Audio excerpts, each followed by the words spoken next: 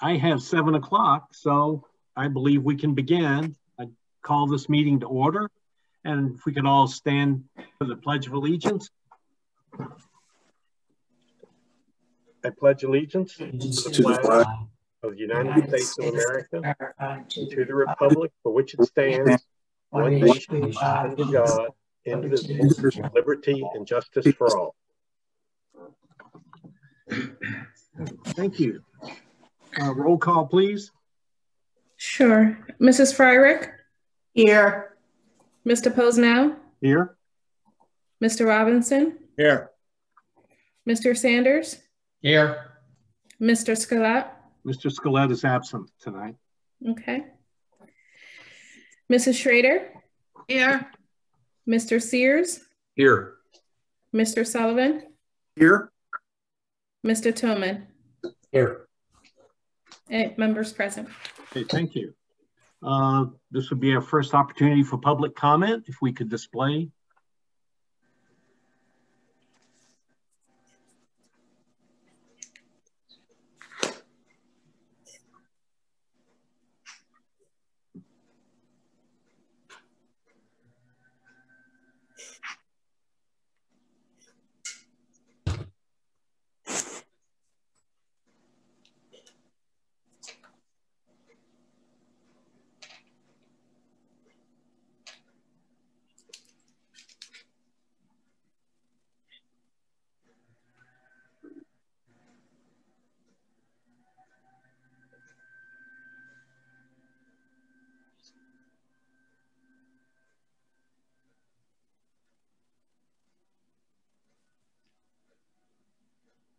Does everybody have time to finish?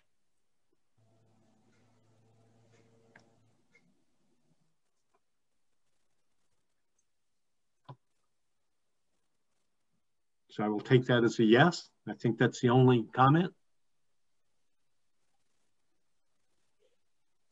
So uh, we have we have linked the uh, minutes of the planning committee meeting of April 12th, 2021. Unless anybody has any changes or corrections, I would offer them to be approved as they are posted. And Mr. Sears, Treasurer's Report. Thank you, Mr. Posnell. Um, as usual, I'll give you an interest update. $9,300 last month, way down from what we've been expecting, but that's because we're spending the tax revenue that we collected during the first part of the year, and we're spending it. Tonight, we have a consent agenda. Would any board member like any of the items considered separately, or are there any questions on any of the items? If not, the chair moves approval of the below mentioned items. Do I have a second? Second, Schrader. Thank you. Thank you. And I think this can be unanimous roll call votes. This will be considered a unanimous roll call vote unless I hear votes to the contrary. Hearing none, motion passes. Thank you. The board met in executive session in a virtual meeting format prior to the planning committee meeting on April 12th, 2021 at 6.30 p.m. is permitted by section 707 of the Sunshine Act for the purpose of discussing matters of personnel. No official action was taken.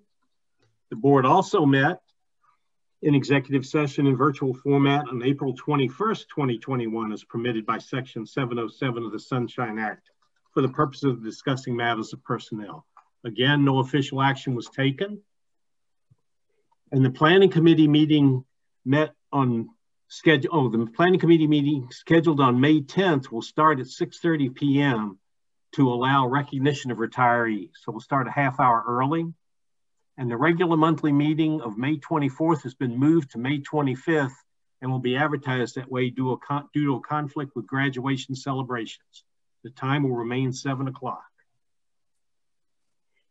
And with that, I will turn it over to Dr. Williams.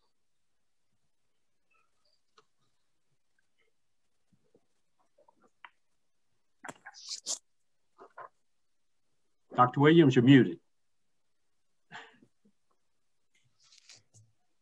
Uh, good evening, everybody. Uh, tonight we have a couple of reports. Uh, first is from the Impact Foundation, which is a subset of the Education Foundation.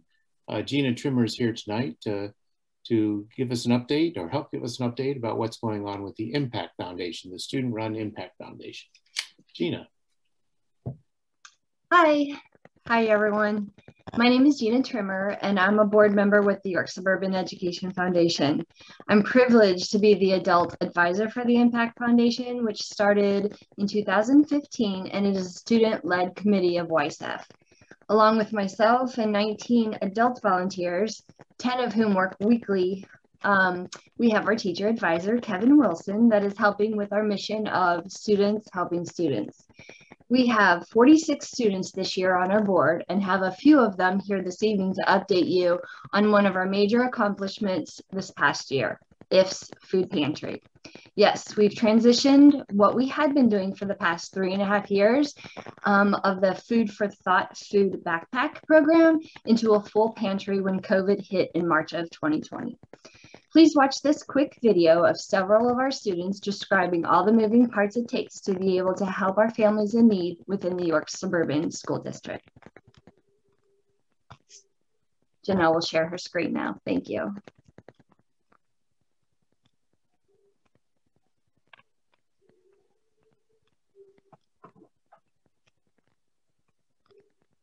Are you able to see my screen?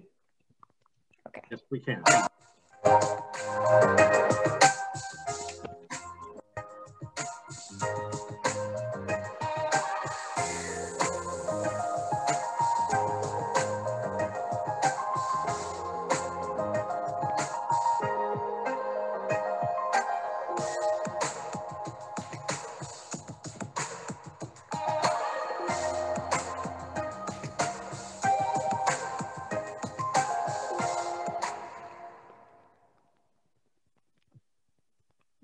Impact Foundation Food Pantry is growing weekly. We fulfill, on average, 25 customized orders for those York Suburban School District families in need. Since we're in COVID times, we line up the boxes outside for each family to pick up at their designated time. This is a sample box of the refrigerated food donated by the York County Food Bank that I pack weekly for our family. The students help to stock the shelves so that we have a variety of foods that families can choose. The students help pack boxes of food, toiletries, and household items that the family chosen from an online form. During the harvest season, we partner with Sprout of Hope. They provide us fresh food and vegetables to give us so that we can give families healthy food. The Impact Foundation students pack the orders and then the adult volunteers help deliver to those families who can't come to the pantry. We transport two to six deliveries per week. We're grateful to the YSSD community for all their kind donations to help our families in need. Some of the donations are even large enough for us to break down and share amongst several families. Students sign up on a weekly basis to come help in the food pantry or closet. I love how it all comes together. Our grant writing committee has received several grants to help us provide the necessary food items for our Impact Foundation's Food Choice Pantry. We even have our alumni from the Impact Foundation return to donate goods to the pantry. Another fellow alum spearheaded a major donation drive at Penn State York to benefit the Impact Foundation Pantry. Books, books, who needs books? We thank our schools and United Way for donating books to the students in York Suburban School District. When the weather cooperates, we put the books outside for families to take as many as they would like. The Impact Foundation puts our most needed items for the week on a whiteboard. This image is shared in our social media along with our Amazon wish list and our Target wish list. Thank you to everybody who donates and helps the families who depend on the pantry. We have an Amazon wish list that our community shops from and has the packages delivered right to us. These packages are what helps keep the shelves stocked with food, hygiene products, and toiletries. Thanks to all who donate.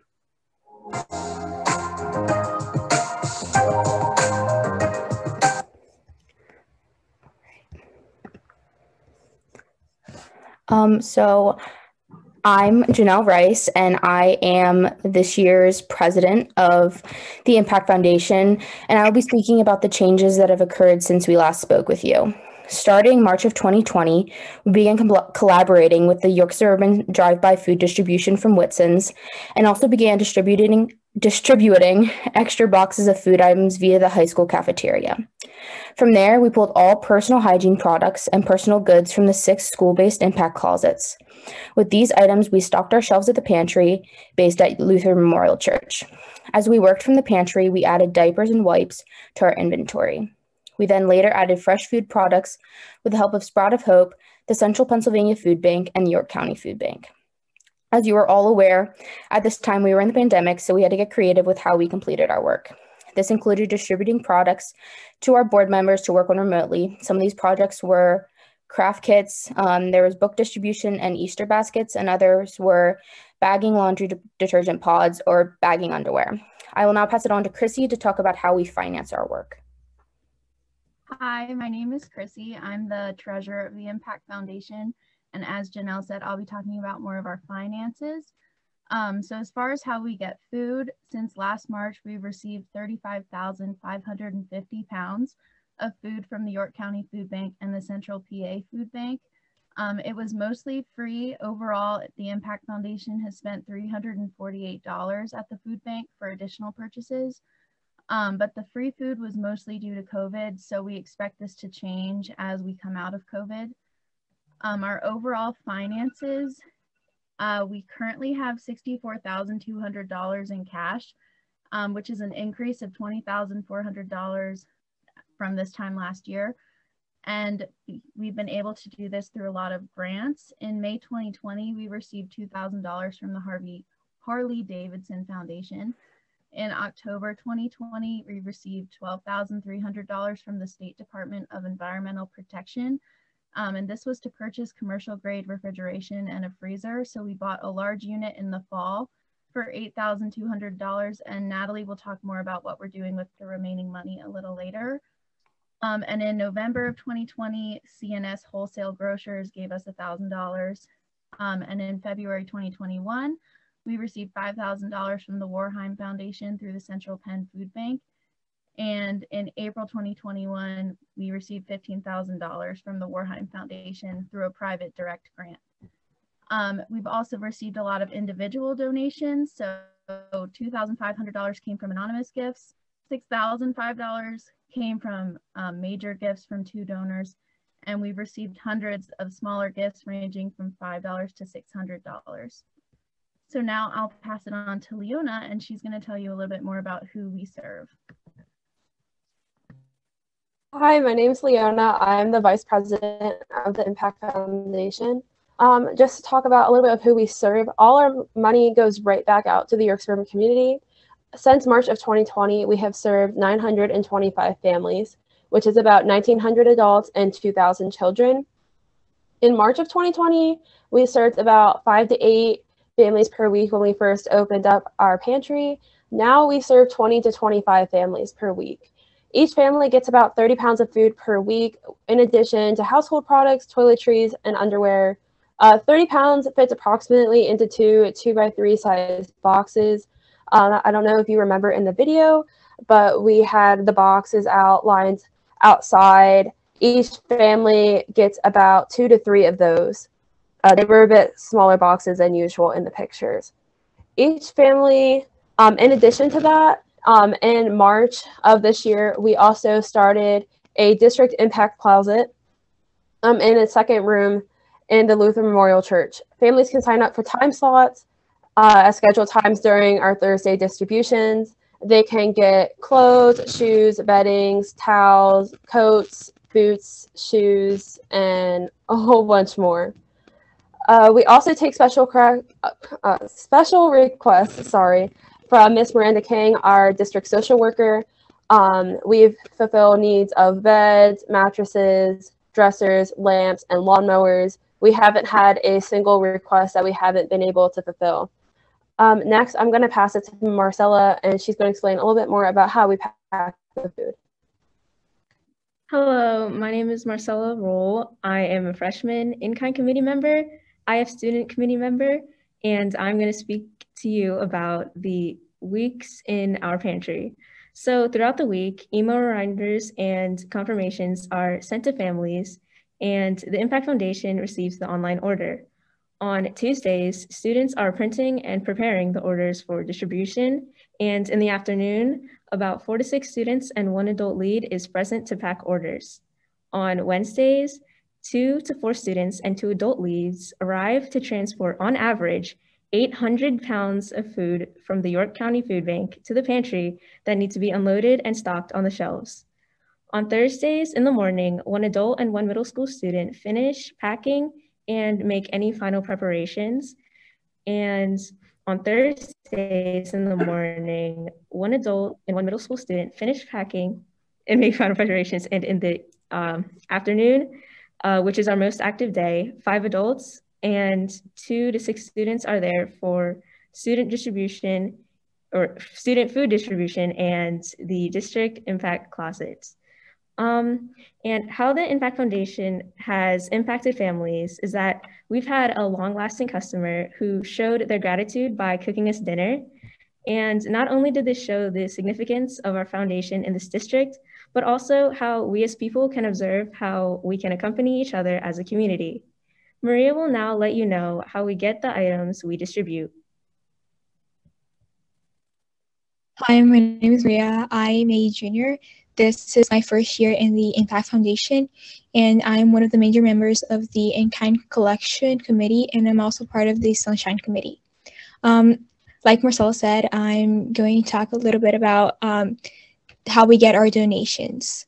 Uh, as the video showed, we have a weekly social media we have weekly social media interactions to let the community know what we need in the pantry.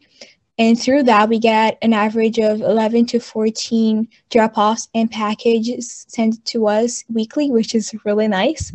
Also, um, within IF, we have a committee called um, In Kind Collections, as I mentioned before, where every two weeks, Marcella makes flyers with those needed items, which then get sent to five different neighborhoods where we are collecting donations. Then, once a month, a student in charge of overseeing those donations in a neighborhood gathers all these items and delivers them over to the pantry. We are grateful that most of the community donations that we receive are household essentials and personal hygiene items, which tend to be very expensive.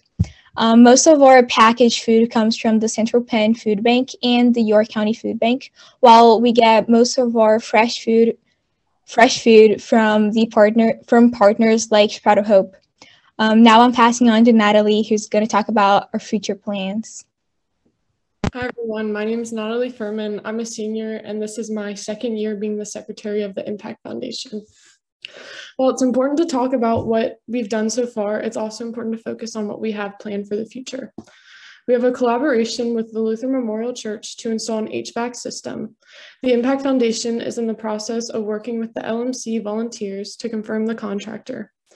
We are a ServSafe Qualified Pantry, which requires temperature control. There's $3,600 left of the state grant to purchase two more fridges and two more freezers. Expanding our collaborations with Sprout of Hope to plant more gardens at a business across the street from Yorkshire is prominent on our agenda. Um, now back to Janelle, our president. Um, we would like to open up for any questions you may have. While you're thinking, we'd like to show you our entire board of students who work tirelessly, tirelessly behind the scenes. So um, this is the this is the uh, thank you card we share to all of our donors. So if any questions, please.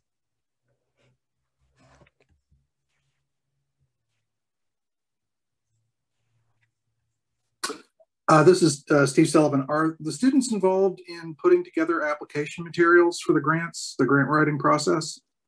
Um, yes, we have a grant writing committee, which is led by Brooke Sargent, and uh, she spearheads a lot of our uh, grants. She also works with our grant writing advisor. Um, in previous years, Mrs. Trimmer, I forget her name. Mrs. Sue Bowman. Helped, Mrs. Bowman, she's helped a lot throughout the years, helping us to set up all the grants. In my past, I've written grants, and uh, for I've written the Harley Davidson grant and a few others. So the students definitely get involved in helping to write out all of our grants. Thank you. That's terrifically valuable experience. Yeah. Yeah, I would just like to to say, you know, my thanks for all the hard work, um, and I know the board appreciate it uh, appreciates it very much. I um, follow you guys on social media, and I saw the little blurb about you know the tractor for the gardening. It, it's just really a, a true community effort, and and that just you know makes my heart proud that that we have that kind of uh, of united front for this um, you know community problem and a way to to you know work towards solving it. Um, and tagging on to what steve said about the valuable experience i mean the list is long when it comes to uh, what the the students are learning and the benefit that they're gaining from this experience.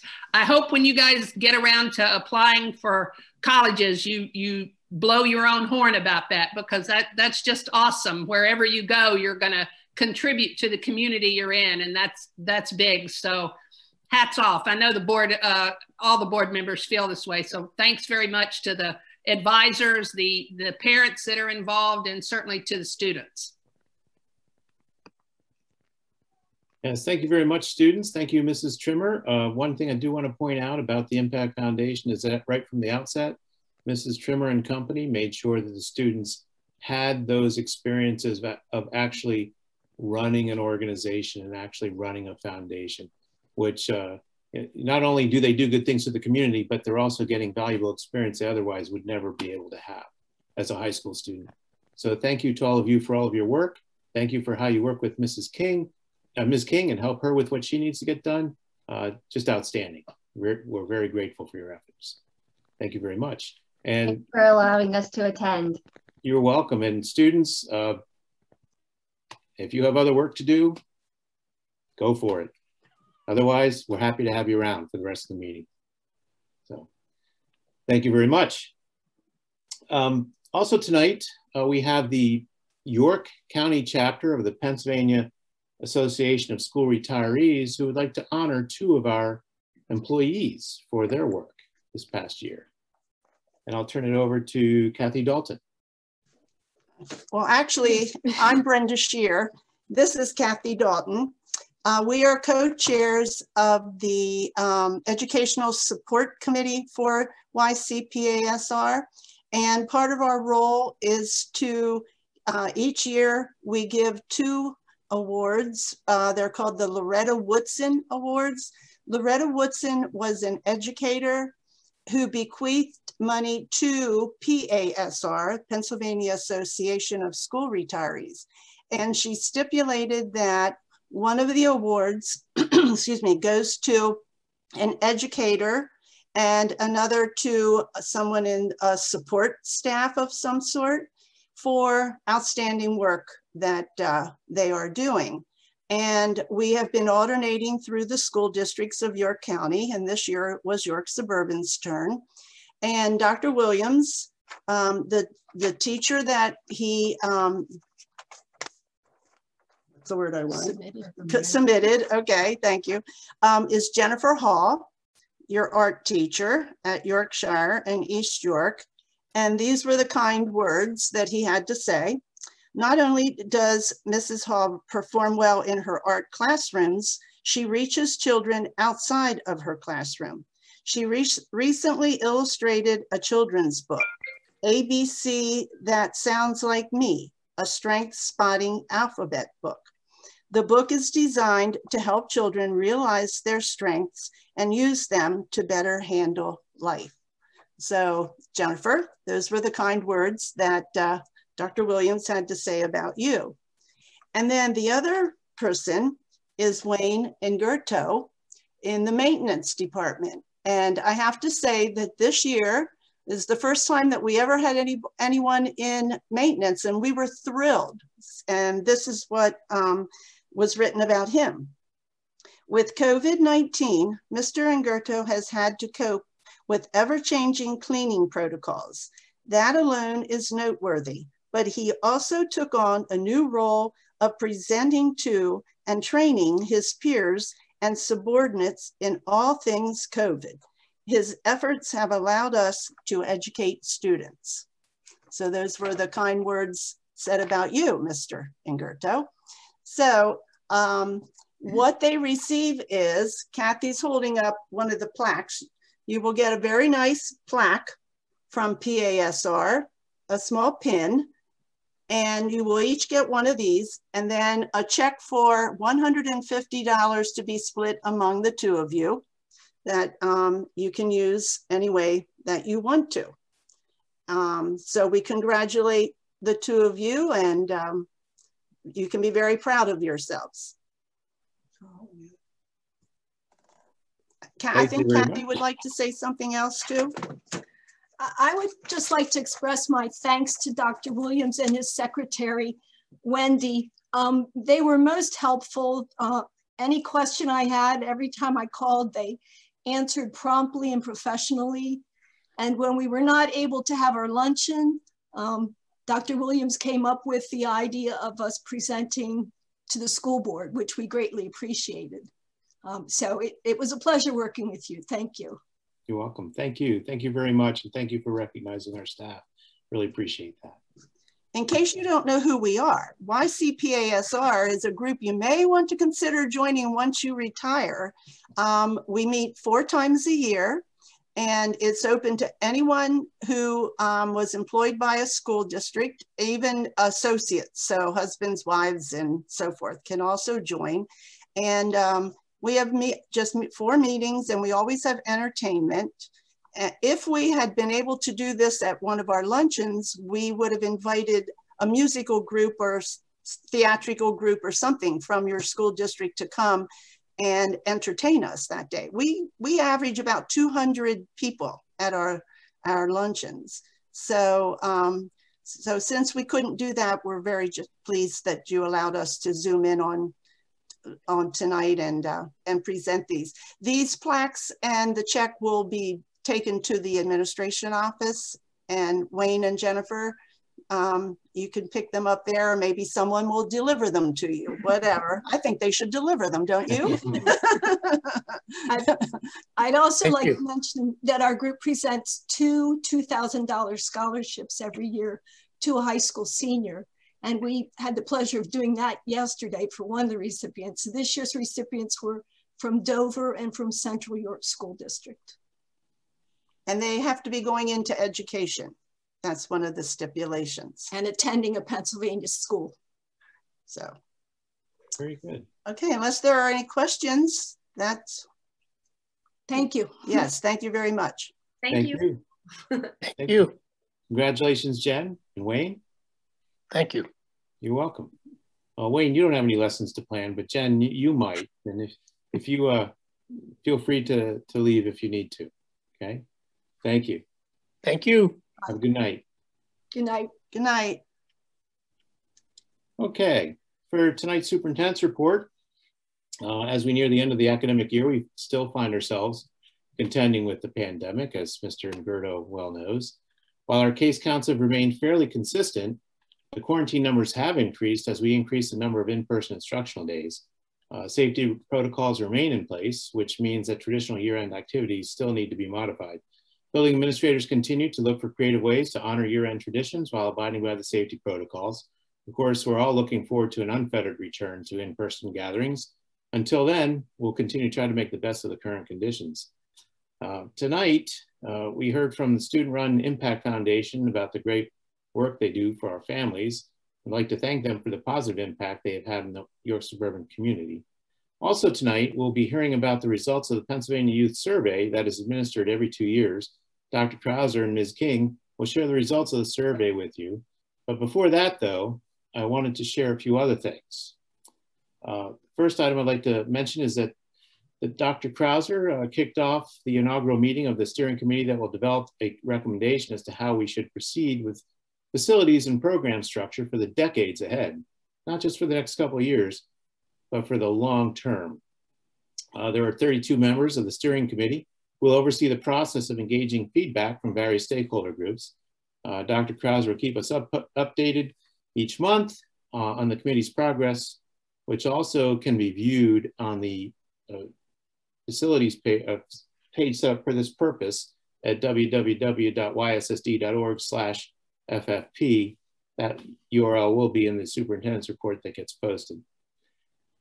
Another item I'd like to mention is that uh, you all remember Bright Horizons uh, was a, an affiliation, a group we worked with in the past, provide uh, before and after school care and childcare. Uh, we're currently in contract negotiations with the YWCA of York to provide those same kinds of services. Uh, we expect those services to be up and running um, approximately mid to late August. Um, also at the elementary level, I'd like to mention tonight that on the agenda, uh, we're pleased to recommend Mrs. Amanda Albright as Dr. Stoltz's replacement at Yorkshire. Mrs. Albright comes to us from Northeastern School District where she is a reading specialist and has, has been instrumental in their implementation of the multi-tiered system of support, MTSS. She's planning to spend a day at Yorkshire in early May to begin the process of getting to know the staff. And we look forward to working with Mrs. Albright and having her become part of the YS team. So that'll be on the agenda tonight and we can, uh, we, we can introduce her at that time. Um, also tonight, the last item I have is uh, in the superintendent's report. There have been some uh, inquiries about the attendance rate at our virtual meetings this year. Uh, and the, Mr. Henry provided the, the numbers. I'll have them in the posted superintendent's report. I'm not going to run through the, the table of those numbers, numbers, but it is very clear that um, attendance, if you want to call it that, in, the virtual aspect, uh, has increased dramatically uh, with online meetings. Uh, the numbers for each are, are, for each meeting are listed in the table that's going to be posted in the in the superintendent's report. Uh, the lowest number of concurrent viewers of our meetings has been 10, uh, and peaked at 276. So at one point during one of our meetings during the year, we had 276 concurrent simultaneous attendees at our meetings. Of course, that was probably a meeting where we were talking about learning mode changes or something like that. So that would be the reason for the high attendance of that particular meeting. But to have the lowest number of participants at 10, I think is significant because many times we had, sometimes we have zero participants at in-person meetings. And also attached to the end of the superintendent's report is the uh, enrollment report. Uh, any questions on those items that I just mentioned? Okay. Then I would like to turn it over to Dr. Krauser for the Pennsylvania Youth Survey information. Thank you, Dr. Williams. Good evening, everybody. Um, as Dr. Williams mentioned, the PAYS or the Pennsylvania Youth Survey is administered every two years. Uh, it's administered in the sixth, eighth, 10th, and 12th grade years. Um, as I shared in the in the fall, um, that process is, is, is really twofold. Number one, the data is used for us to uh, identify changes that we see in the patterns of use and abuse of harmful substances. And number two, we use that to assess the risk factors surrounding those behaviors. Um, our data this year um, on, on many counts in particular was showing an increased prevalence use in our, in our younger population of students in the sixth and eighth grade range.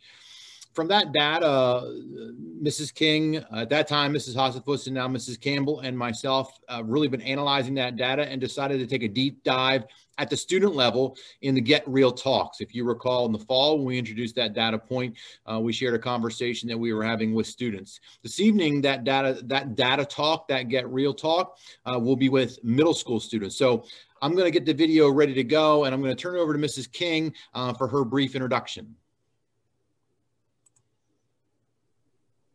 Good evening. Um, thank you for having me. I love when I get the opportunity to sit down and chat with all of you. Um, we were really hoping that this session of Get Real could be in person. Um, we actually were able to um, like have the room at, in the Roots and Wings classroom. Unfortunately, that day the entire middle school had to go virtual.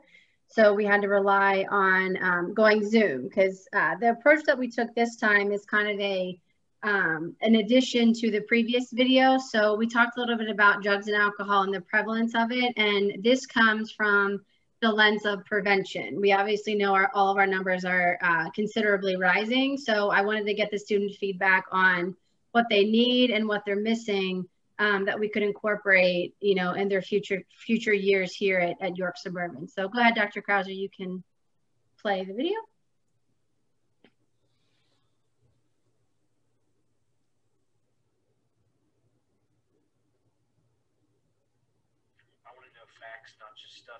made up to scare us? I feel like we more like memorize it instead of actually know it because we're focused on learning the definition so that we can um, actually like know it for like a test instead of actually learning it. Instead, we just memorize it.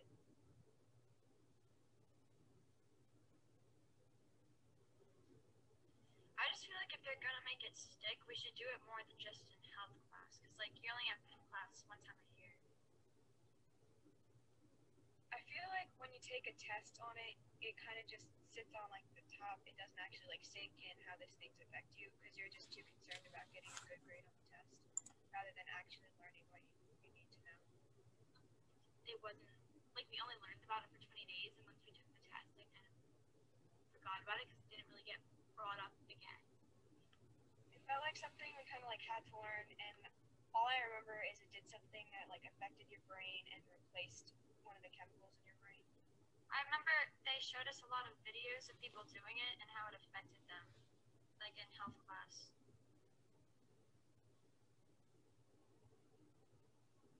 Instead of like teaching us how it can affect them, I think it would be better to show them, like someone who struggled a lot with it.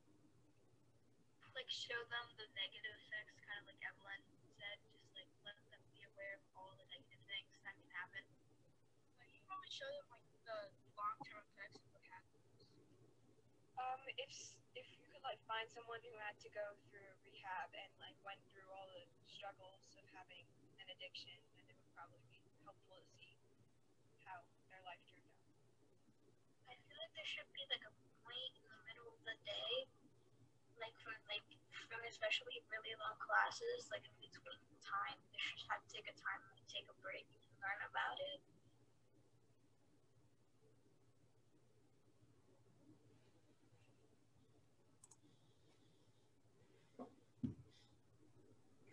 So we by far got the most feedback from our seventh graders. Um, our eighth graders were kind of pretty numb to the topic, which, you know, really kind of hits home that I think they don't always have that safe space to talk about it openly.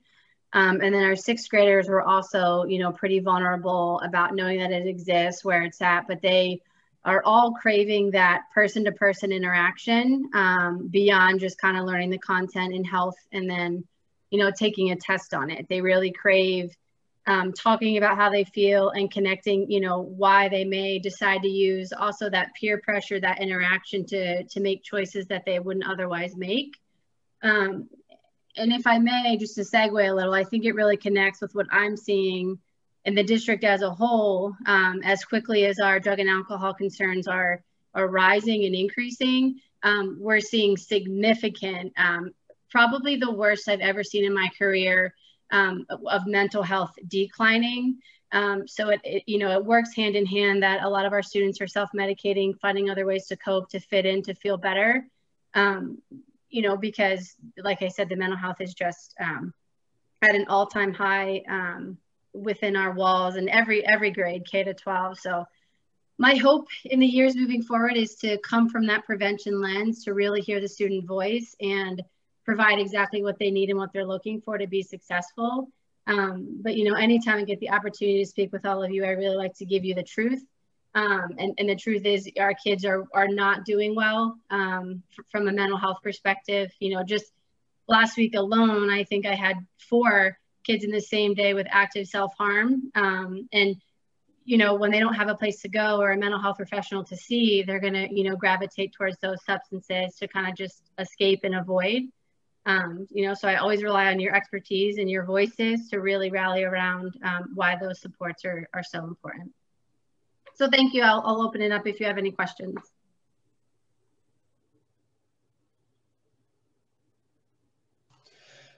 Uh, Brandon, King, just quick what? Oh. Uh, could you talk just a little bit, maybe some more detail about self-medication? And I know you're saying that, that our kids are in trouble, and I agree with that. Uh, four kids is certainly significant, but four or 3,000 doesn't really tell the story. Just how broad-based is the problem? I mean, vaping is an epidemic in, within all of our buildings. Um, vaping at school, vaping at the bus stops. Um, not only is it just nicotine, but you can almost put any kind of substance in that, you know, dab pen, vape pen. They're very concealable, they're hideable. Um, I have an, a huge number of kids, um, and again, protecting confidentiality, that come in to see me that um, are smoking pot daily before school, after school, um, social gatherings with friends. Um, it's just becoming a release, um, alcohol, to just really escape some of the issues that they're facing. when you are a teenager, you're already incredibly impressionable. And then when you don't have that day to day interaction that's normal for growth and development, you're going to seek towards those things that give you that comfort and that release, um, which typically is uh, marijuana and alcohol for um, teenagers and young adults. Can you give us some sense of, of just how prevalent it is? Like numbers? Well, numbers, percentage.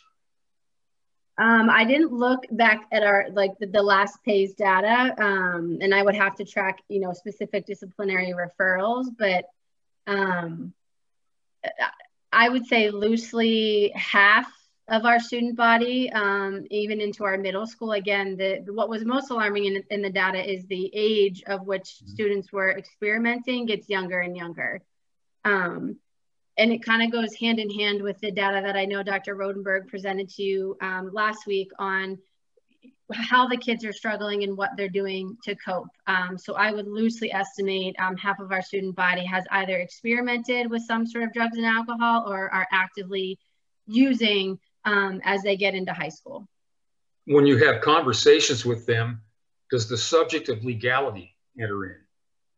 Um, not necessarily because I don't think we really come from a place of harm reduction. Um, I think it's more just that disciplinary referral, but we don't really seek to find the underlying cause of why that student is using. Nine times out of 10, there's household dysfunction.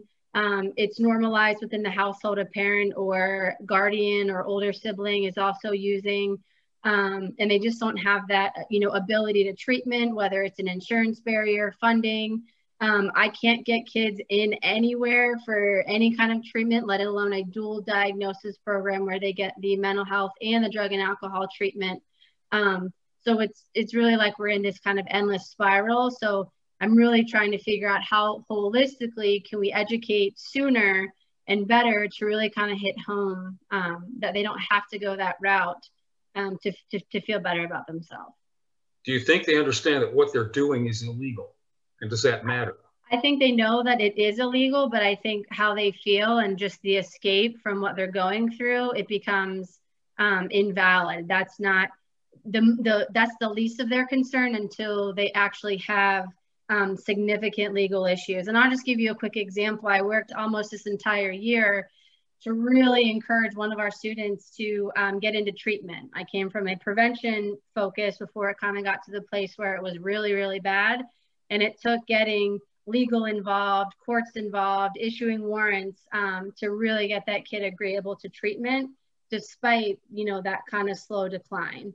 Um, and and it, that's more and more often, you know, that I'm unfortunately seeing kids kind of get to that space where then it's, it's you know, um, court ordered, and then they don't always kind of take it as serious because they're saying, hey, you have to do this in order to get this to occur, or your record to get expunged, or um, because we don't come from again that that you know restorative place and the harm reduction place. Um, it's a really tricky limbo, if you will.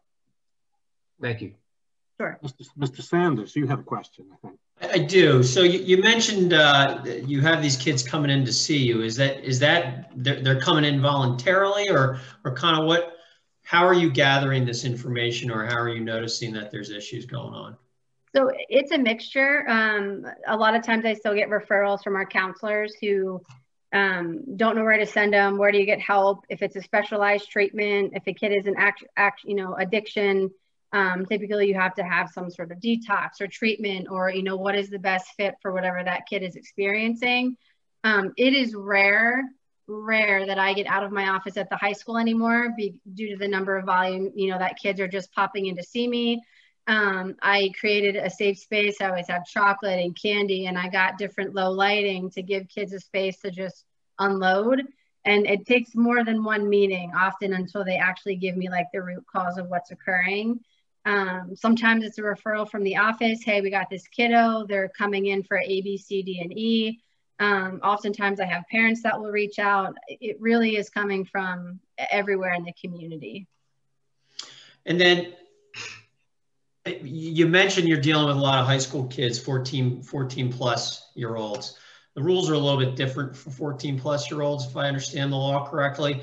Yeah. Do, you, do you find that to be a, um, a hindrance to your ability to help those kids get treatment or not?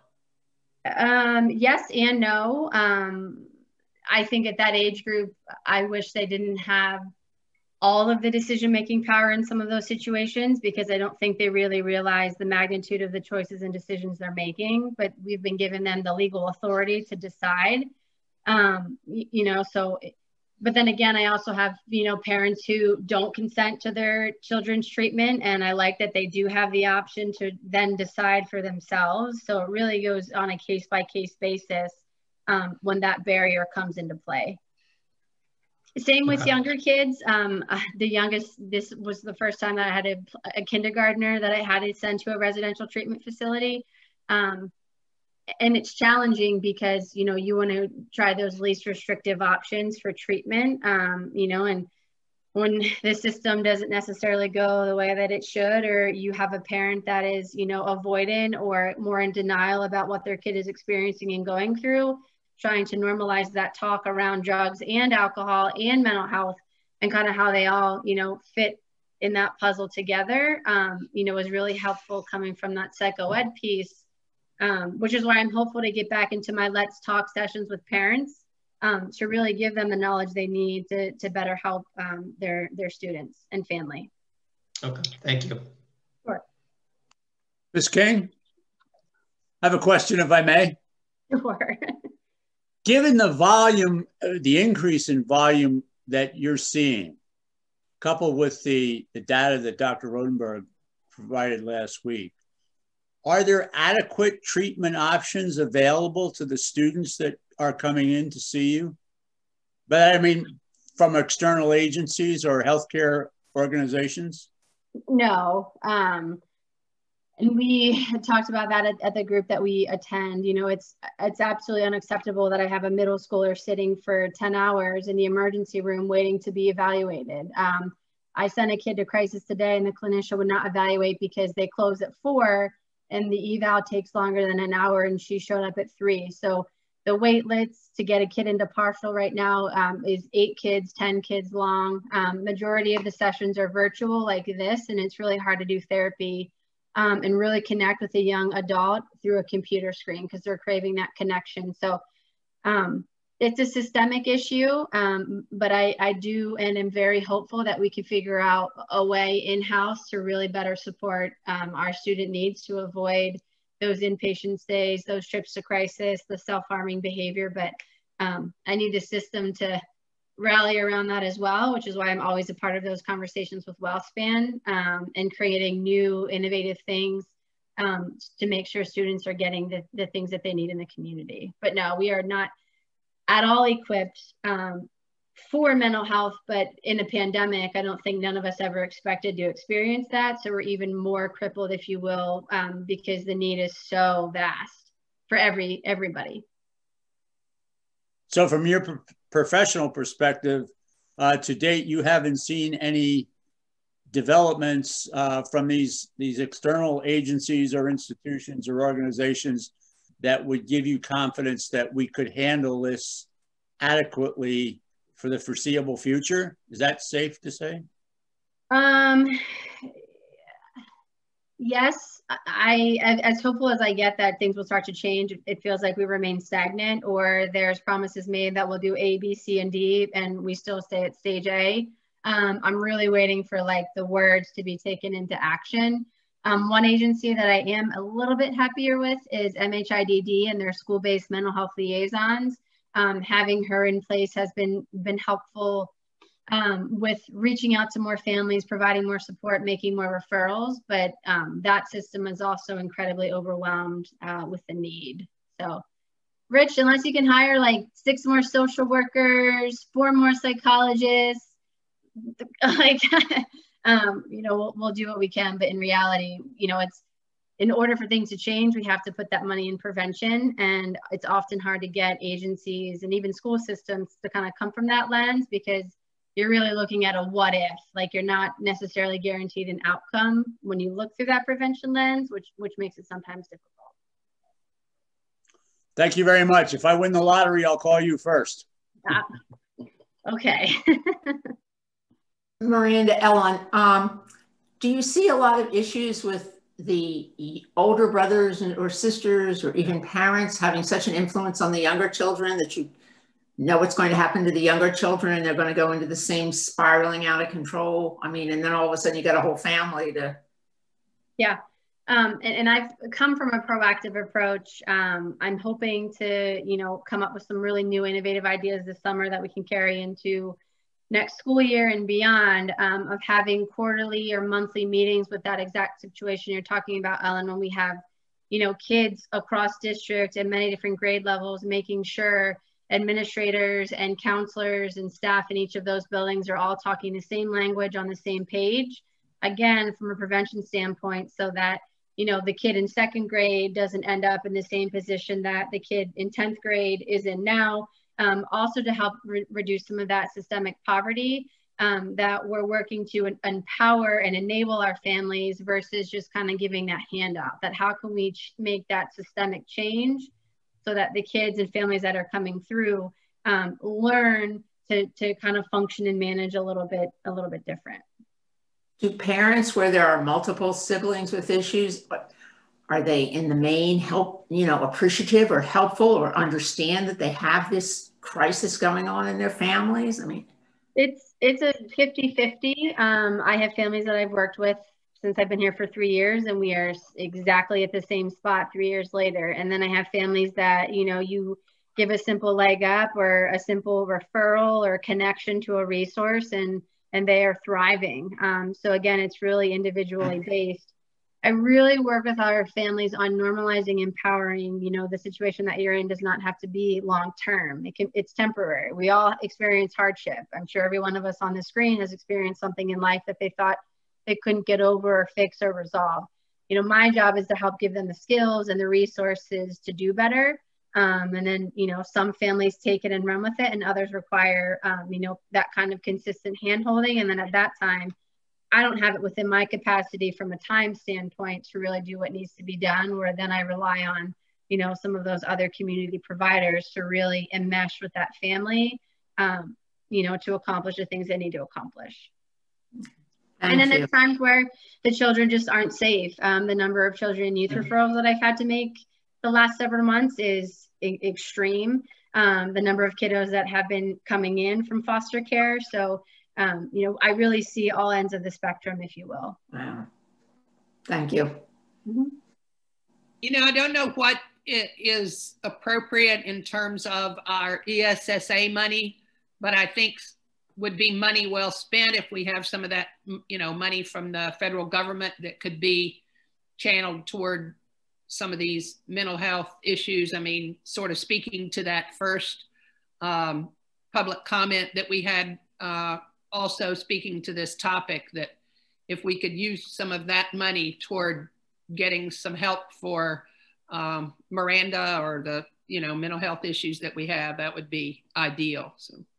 And just to piggyback on that, we have come up with some creative. I have been in this field for over 10 years, not school social work, but social work. So I do have a lot of connection in the communities with my friends who are providers. And we've utilized some polyfund money, um, things like that to help a kid get the specialty treatment that they need because their insurance won't cover it or they don't have insurance or they're not eligible for insurance.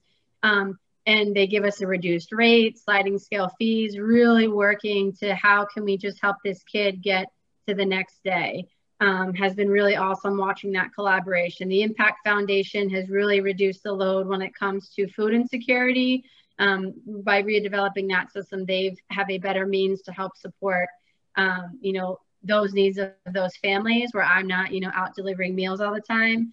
Um, so we've really tried to think of creative ways that are affordable and, you know, long lasting to connect some of our needier families to services. Thanks, Miranda. Thank you. You're welcome.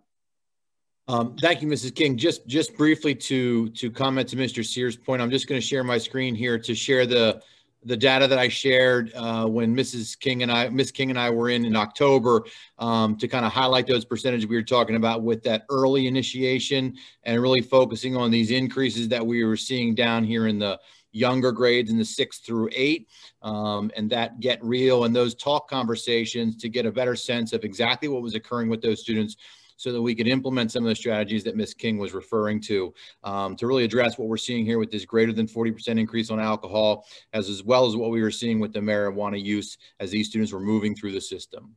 Um, and just to kind of review of what we had shared at the beginning of that uh, October when we started that kickoff. So to to your point, Mr. Sears, uh, yeah, absolutely. We use the the numbers and the data we got back from from the pay survey, uh, again from 2019, but really decided to take a focus on conversations with students um, to take into fact their honesty in those in those transparent meetings when they were kind of giving us those direct communications, so we can start to make the interventions occur earlier um, and hopefully more effective.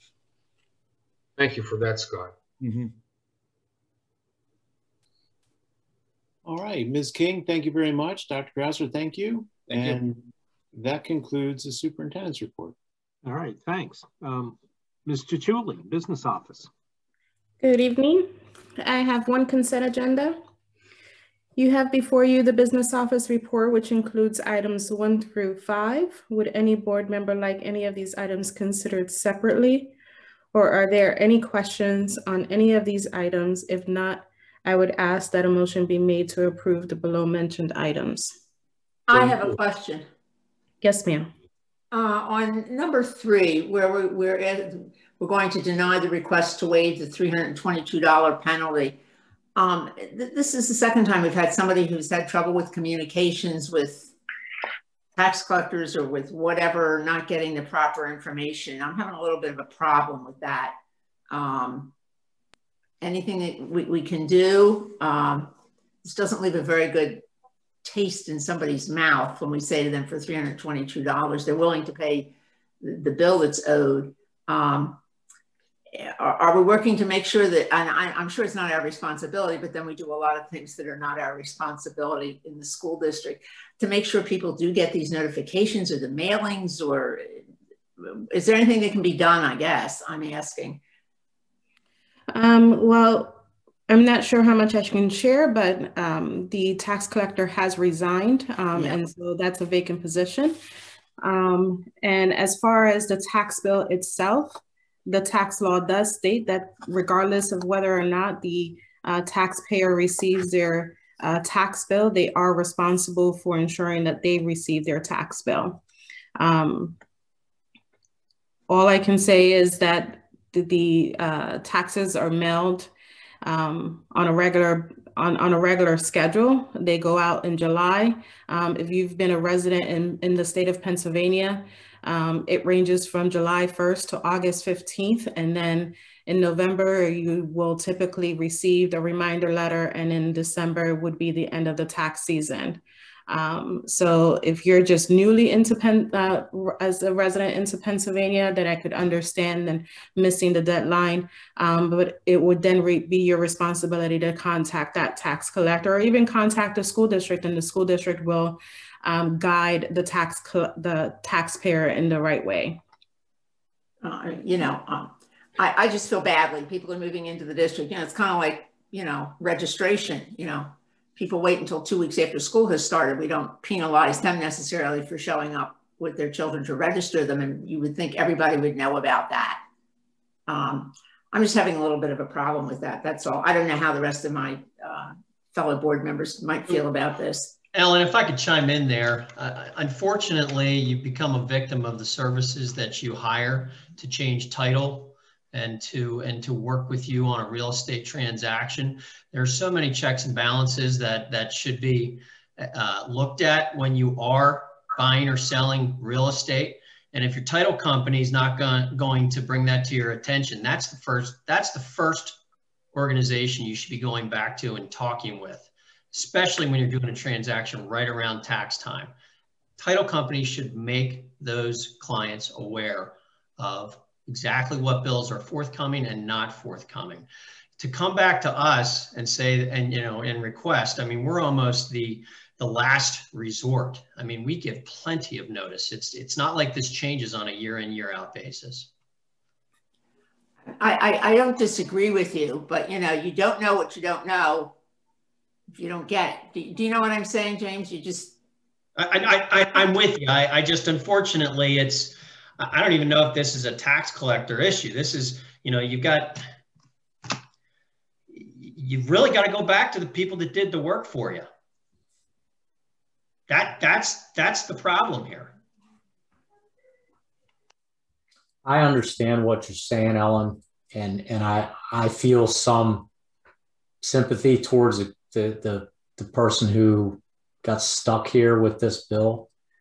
Unfortunately, I don't think we can make you know every case is different. And the the precedent that's always been set uh, is that we deny these requests. And i think we have to stick to that or else we're going to get a million of them. And a lot of them aren't going to have any justification. And we won't be able to sort those out. And and unfortunately you know th- this one might have a good solid rationale. We just can't we don't have the time or the energy to be in the business of sorting that out and so we just have to stick with the precedent that we've set so, so ellen am i hearing that you have a discomfort with the consent agenda for one through five You're muted. I just wanted to see how others thought about this. You know, um, I, I, guess ultimately these people will pay the bill or they won't or whatever. You know, I don't want to see anybody in trouble over $322, but um, uh, I'm willing. We, I know in the past we have denied these, uh, but we don't always know about them. Sometimes you just hear kind of about them, you know, every once in a while. Actually, is this the second or third time this year we've gotten one, Mr. Chili, I think? Yes, it's it's the third one that I've brought to the board. You know, um, so it's kind of um, as long as we're consistent. That's all. I'll I'll, I'll support it, but I, I think it's something we need to think about. So can I uh, can I have a motion that that supports the consent agenda for items one through five? So moved. Second. Thank you. Any other questions or comments? Yeah, I just wonder, uh, Kathy, could you confirm which township this request is the resident in which Spring Garden. Thank you. Other? Then I think this can be a unanimous roll call vote. This will be considered a unanimous roll call vote unless I hear votes to the contrary. Hearing none, motion passes. Um, I will share my screen to go through the informational section.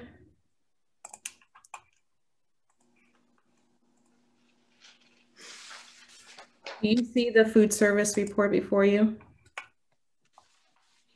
No. Okay. Um, so we've been showing you on a monthly basis the food service report and how we're operating. And up until a couple months ago, uh, maybe February, we were running in a deficit. Um, and you'll see that we've collected uh, revenues um, of a total of $694,000 with expenditures at uh, $672,000 um, with a small surplus of uh, 21,544. In the month of March, we realized a surplus of $59,000, which has been our largest surplus this year. Um, and there were just two main components of that. One is payroll and benefits. Since the start of COVID, we have been short-staffed in, um, in our cafeterias. Um, but at the beginning of the school year, that really didn't present itself as an issue since we didn't have 100% of the kids. Um, and so as we're moving into uh, five days instruction for all, we have been hiring um, and, and recruiting. The second component of that surplus is uh, bringing elementary students back five days a week. Um, and so we did really see um, that impact. On the second page of this report, you'll see the breakdown of revenues and expenditures by month.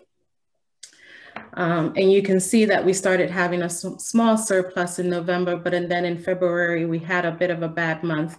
Um, and that was really due to uh, February being a short month. Um, and then I just explained March. The last slide is has been our uh, participation in the meals that we've served um, throughout this school year compared to 1920. And we still are serving all students free meals um, and we'll continue to do that throughout the school year and throughout the summer.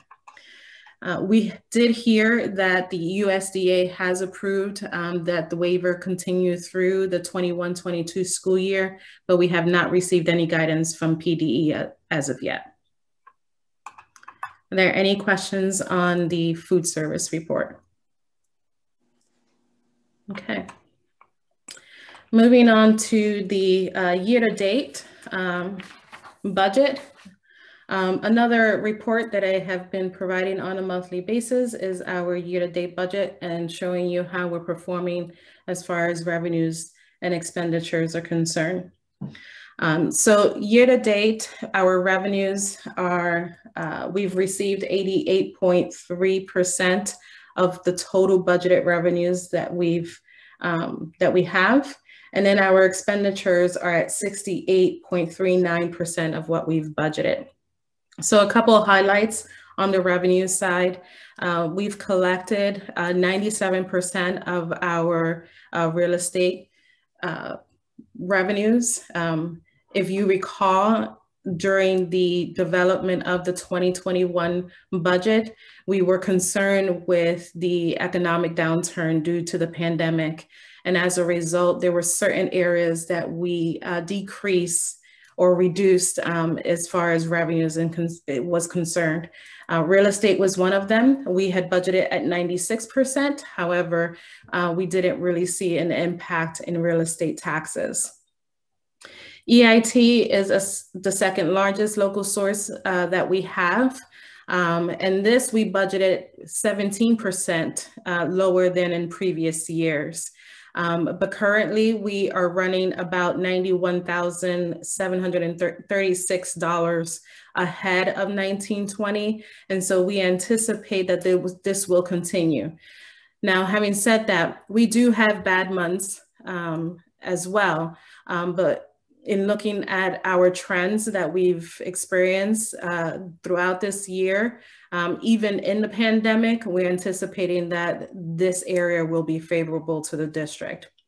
There are areas in the local revenues that are down um, from prior year, and that is interim taxes, delinquent taxes, and game receipts. Um, we haven't uh, had any uh, game receipts, and so we won't see any revenues in that area. As far as state and federal, we're on track um, to what we've budgeted. On the expenditure side, we, um, as I mentioned, we've expended 68% of our budget, um, which is on pace with what we've done in the past. We still have some significant uh, costs that are coming up. We have met 93% of our budget for cyber charter uh, tuition, and we still have two months of billing to go. Um, we still have IU costs, transportation. With transportation, we are anticipating a savings of about $163,000, um, and that was because for uh, the majority of the year, we didn't operate on Wednesdays, or at least we didn't have uh, in-person instruction. We have uh, several bond payments coming up in May and June, um, and so we still have those obligations. And then we currently have over $900,000 in open purchase orders. Um, but overall, um, as I look at the trends and looking at look at our spending patterns, um, I believe that we're on track and there aren't any major concerns. Any questions in this area?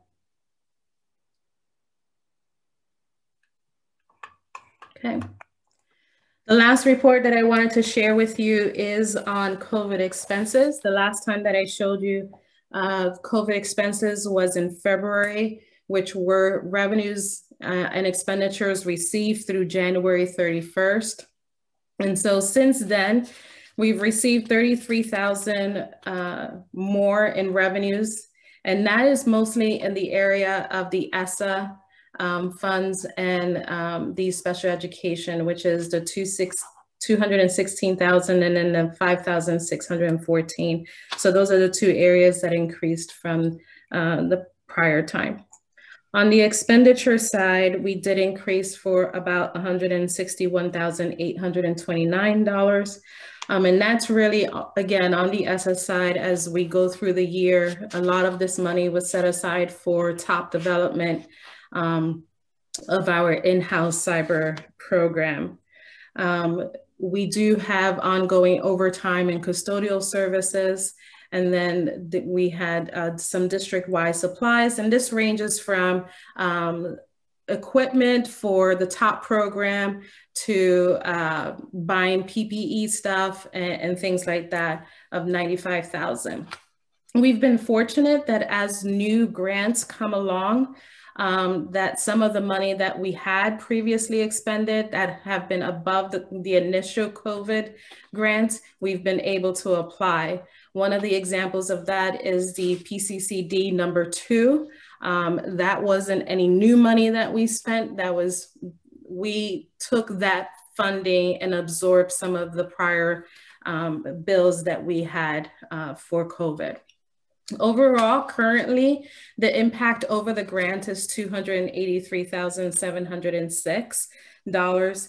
Um, and I do really uh, have to commend um, Dr. Krauser, Dr. Kettleman, and all the principals who have really uh, controlled uh, the COVID expenses. Um, we had anticipated over a million dollars above the grant money that we received.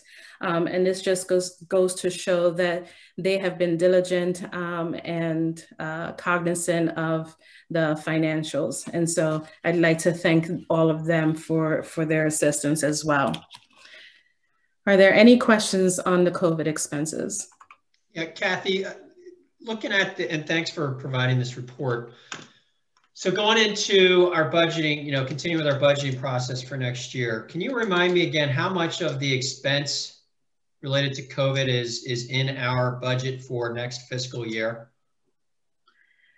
We didn't really budget anything new as far the way that we did this year um, with the additional PPE stuff and uh, Chromebooks and things like that. We are utilizing um, money, the ESSER 2 money, which is $1.3 million. Um, and that what we're doing is because we cannot apply that directly to things like cyber charter tuition increase, which is an increase um, directly related to COVID, uh, we're using that money to fund top programs. Uh, the top program and the top continuation of the top development. Um, we're also using that for some learning loss during the uh, summer months. Um, we're trying to bring back some students um, and giving them some support for um, for some help that they they may have may need because of you know the pandemic. Um, so some those are some of the areas that we're looking at um, as we head into SF3 monies. We are looking at, you know, what we can do again to address social emotional learning. Um, we also want to look at uh, learning loss in that area. Um, and so that's, we're currently in the planning stages for that grant. Okay, so apologies, uh, and, and we're, I know we're, we're kind of an alphabet soup here of programs. And for people that, you know, are online listening to what we're talking about here, if you could make it real simple, of the $909,000 that was spent on COVID related expenditures, how much of that $909,000 wise or percentage wise, if you don't have it, ballpark is in next year's budget? I would say, I would say about 50%. It's, it's not to the same extent that we did this year. So we've got about $450,000 in next year's budget related to incremental spend because of COVID issues? Yes. Okay. Is there any opportunity Um, and and I, I, think you may have said it, but there was a lot of a lot of program uh, uh, stuff that you were talking about there. Is there any opportunity to cover that with grant money? In other words, is it neutral to the budget next year? We have $1.3 million that we'll be receiving that is included in the budget. Okay, so 1.3 million less the 450. So we have an incremental, um, uh, sorry, my brain's not working, $900,000 of, of grant money to utilize for COVID related stuff. Well, all of it is COVID related. It's just how we use it. There's a lot of flexibility on how we use it. We could use it for staffing. We could use it for more equipment. We could use it for replacing HVACs. So we've chose to use it to balance the budget and that balancing the budget includes the, the, the continuation of the TOP program um, and paying for some curriculum, for some learning loss as well. The full 1.3 million you're talking about, the full right? 1.3 million will be used. Okay. Is there any opportunity to, as as we get further and further away, hopefully from uh, from COVID impact, to lessen the 450 over time? The 450 expense is what I'm referring to. The majority of that is for top. Um, depending on you know how far we can get with uh, the use of federal funds to continue to develop that because I don't think that we want to move away from it. Um, so it depends on you know how far we get with with that amount of money for 21 22 and how much in 22 23 we'll be able to use to continue that program. That's really where i'm going with this is the multi-year. Is that 450 does it does it lessen over time or, or you know, I, I guess I just I want to make sure we have some visibility on this because if, if it is for top, then then that's an opportunity to bring funds back into the district, right? But if it's for other things like overtime related to extra cleaning and or you know a lot of the other items that are outside of top, then uh, you know how are we addressing that to you know, uh, minimize that impact over time. And, and yeah, I'm, I'm not asking for an answer. I'm just, I'm, I'm calling mm -hmm. it out. So thank you. You're welcome. Uh, Kathy, it's Joel.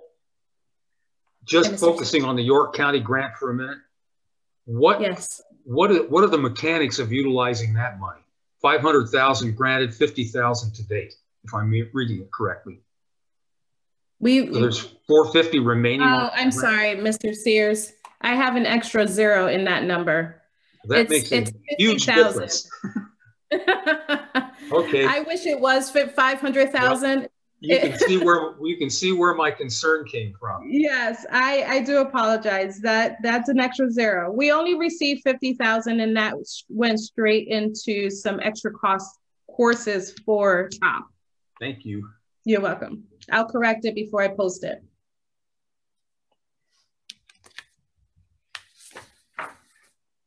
Okay, if there are no other questions, that concludes my report. Thank you. Ms. Bowen, how are you tonight? Hi everyone, I'm doing good. Um, I'd like to start off by saying student council elections have come to a close and so that means uh, a new student school board representative. So I'm sure she'll be joining us at some point soon, but she is Neve Casey and she's an upcoming junior and she'll be filling in my spot eventually. um, I'm very excited to introduce her to all of you and I'm sure she's eager to begin as well. Aside from this, the Trojan Theater Club put um, put on lend me a tenor this weekend um, as their spring play. And from what I've heard, it was a huge success and a, an amazing show. Um, also, PSSAs, Keystones, and AP testing are all coming up very soon for everyone. So it's prime time for prepping, um, especially in the high school. I know that. So with that being said, that concludes my report. Okay, thank you. All right, uh, we have a link to committee reports here, and I will fill in for Mr. Scalette. Uh, you've got the minutes of the February 16th Academic Standards and Curriculum Committee meeting. And following the discussion at that committee meeting, the committee recommends the approval of the limited expansion of concurrent dual enrollment for high school students. And I guess the committee would ask for a motion. So moved. Second. Thank you. Questions or comments? Then I think this can be a unanimous roll call vote. This will be considered a unanimous vote call vote unless I hear votes to the contrary. Hearing none, motion passes. Thank you. Mr. Robinson, Personnel Committee. Thank you, Mr. Posnell. You have before you the personnel report, which includes employment, extracurricular, leave of absence, and volunteers. Would any board member like any of these items considered separately, or are there any questions on any of these items? If not, the chair moves approval of the below mentioned items. So moved. Second. Thank you. Any additional questions? Yeah, I, I have a question. Could somebody sort of compare and contrast uh, department leaders and content coordinators? I see in some cases they're the same person, but in other cases they are not. I'm just curious what roles and responsibilities each category would might entail. Sure, if I can ask Dr. Krauser and Dr. Kettleman uh, to Yep. provide. I I would be happy to to respond to that. Um, it's two two part. Um, historically, we've had one role of a department leader, which really held the just the management factor of of a department. As we moved through the high quality teaching learning initiative that came out of the comprehensive plan and our increased emphasis on curriculum, curriculum development, and using the understanding by design framework, we see we saw an immediate need for greater uh, attention to the supporting of content, uh, both horizontally within a department as well as vertically. Um, so the creation of the content coordinators was uh, basically took the position, which was just a department chair, to spread that out uh, with two two purposes in mind. One to focus on uh, having roles and responsibilities tied to to curriculum, curriculum development, curriculum conversations, collaborations, somewhat separate from the management of meeting minutes, uh, submission of uh, budgetary items, and and having that more from a management end to open up. The second reason was to uh, create more collaboration and more leadership opportunities within the departments. So in some departments, we saw, and the third was to increase more of that opportunity in the elementary elementary division. In some departments, we opened that up to the entire district and had a, a series of interview processes, and every teacher was eligible to apply for those positions. And then uh, myself, Dr. Ketterman, and the principals conducted interviews for those positions. In some positions, uh, there was only one applicant. In some positions, there was one applicant for both positions. In some in some cases, there was multiple applicants for multiple positions, uh, and in some cases, there were no applications for certain positions. So that's kind of why you see in in some cases one person from the department may have applied for both, and directly a choosing to accept the roles and the responsibilities that are tied to both of those um, positions, separating them out from content and management. Dr. Ketterman, I don't know if you want to add to that.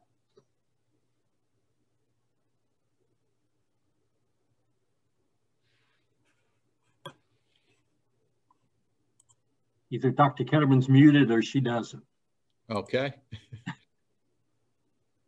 did did that Lois Ann, did that answer your question? It, it does. I just was curious. So we can therefore conclude when it's the same person that perhaps there was limited interest within that particular group to participate. I really like the idea of spreading spreading the wealth. And I'm not talking about the stipend involved, but just leadership and things like that. I, I really like that. Cor- correct. And there were some cases where we had multiple people apply, um, but given the expertise of each person uh, with administration, we chose which individuals would accept it. But to your point exactly was the idea to create greater opportunities for staff members to get involved in leadership and and share the wealth both in the in the role of responsibilities. To get at the heart of curriculum that takes time um, and energy that's done outside the school. And here's a way to compensate them for that work that um, is is the right work is purposeful work um, but they are two responsibilities right. I, I am right that there's no no neither of these categories have supervisory responsibilities. No one goes in and observes a peer not in a supervisory opportunity, um, but we do have certain departments that are, are very collaborative by nature, and they do offer and welcome um, collaboration across their departments. So colleagues come in and offer uh, support, encouragement, and or help analyze lessons. And I, and I would say, you know, that's probably one of our goals in the future that we get much more into that lesson design type of work where you have a collaborative team analyzing one another's lessons, not in a supervisory way, but uh, in an improvement process. How do we make this particular lesson become more effective um, and more authentic for our students? So we do have that existing in certain classes uh, and certain buildings where we have teams of teachers that go in and observe one another, but very peer oriented, uh, which is at the heart of what we would much rather have versus supervisory. Right, a non-threatening, supportive role. Absolutely.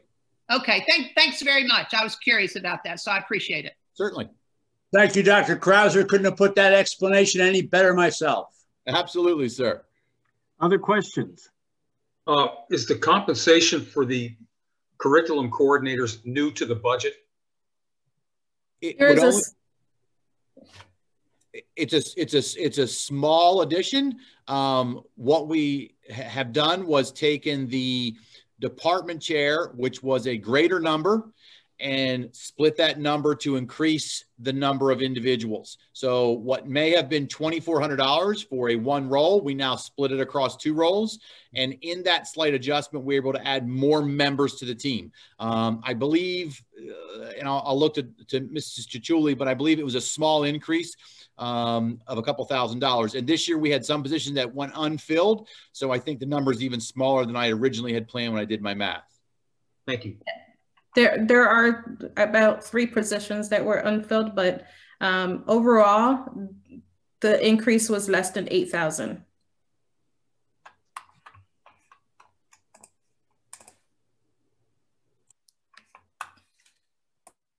Other questions? So I think this can be a unanimous roll call vote. This will be considered a unanimous vote call vote unless I hear votes to the contrary. Hearing none, motion passes.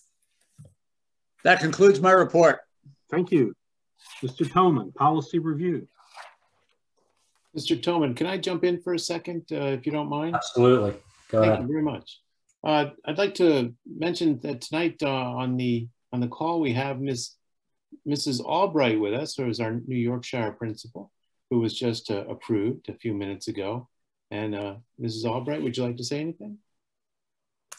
I absolutely would. Thank you so much. I'm thrilled to be here tonight and just to join this fantastic team. A little emotional because I'm super excited, um, but my family and I are excited for this new adventure, um, and I just appreciate the opportunity. I'm looking forward to meeting all of you in person someday and just welcoming you into Yorkshire.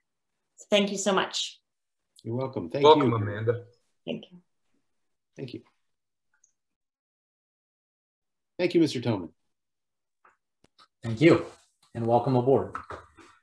Um, the Policy Review Committee, uh, we have eight policies that uh, will be brought forward to this committee for vote uh, in May, uh, and they're listed there. We are on our first read. Uh, you've seen these before at two previous meetings. Uh, and we'll see them again at the May 10th meeting. And we will, I believe, have a final vote then at the May 25th meeting, if I'm correct. Um, are there any questions on any of the eight policies?